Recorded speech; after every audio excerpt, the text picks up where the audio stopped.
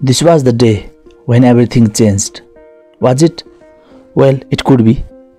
This was the day when certain Sir Garfield Sobers from West Indies scored a mammoth 365 not out versus Pakistan on March of 1, 1958, some 64 years ago.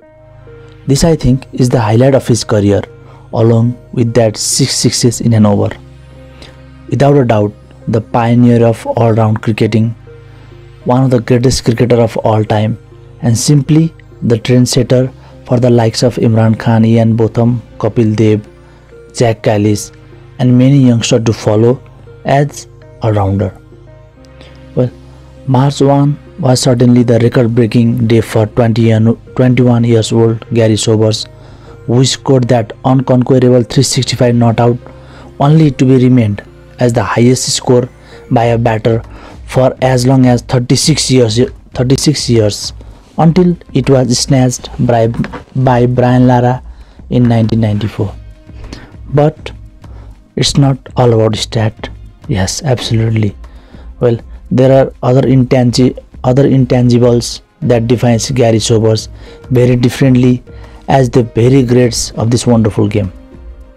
No wonder he was given this title of 5 in 1 cricketer by the icon Don Bradman himself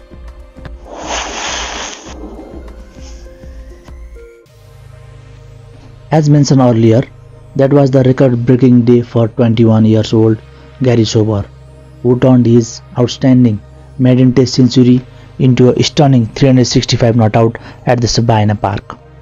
He beat Len Hutton's score of 364 by one run, which was the previous highest scoring test from 1938. Well, it remained a test record until 1994 when Gary Sober himself was in Antigua to witness Brian Lara move that bar up by 10 runs.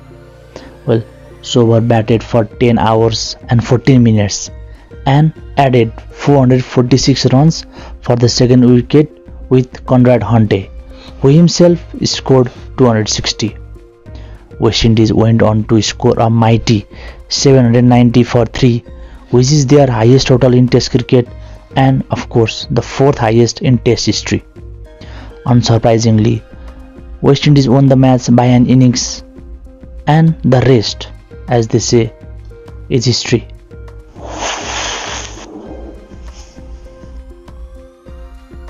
Arguably the best all-rounder ever in cricket, with that batting number and bowling number, his impact in cricket is much more than that number itself.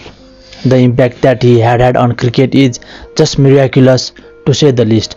I mean, to perform in such degree with such numbers in those dangerous times speaks highly of him.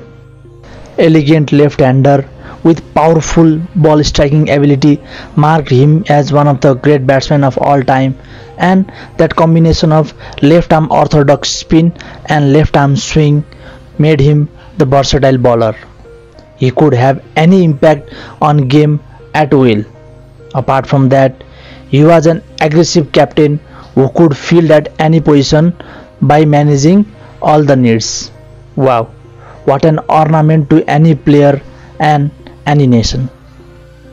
Hard work, only route to success. This was the quote by Sir Gary himself, who simply was the follower of that very principle.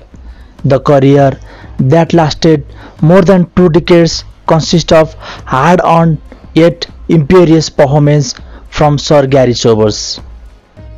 All in all, this was the contributing video to the absolute legends and immortals of this game. Well, frankly speaking, it's never enough and as a supporter of this game, we are never tired of talking about these cricketers. So thank you very much for watching this video and as ever, please pass me an honest opinion about this video and lastly, please do not forget to subscribe to my channel. Thank you very much.